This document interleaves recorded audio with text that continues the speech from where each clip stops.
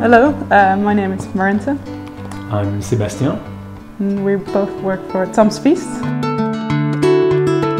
Tom's Feast is more about having a feast with people that you like and love and sharing really good ingredients um, on the table, big sharing platters.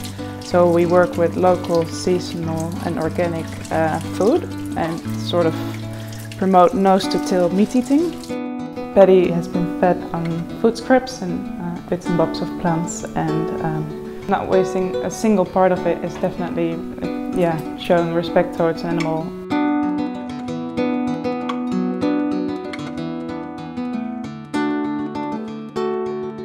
It's going to uh, be partly barbecued. We've got some pork belly um, that we're going to have uh, nice and crispy. We've got like the head still. Um, I'm probably going to make uh, a nice stock out of that or um, uh, rillette. Riet. Riet.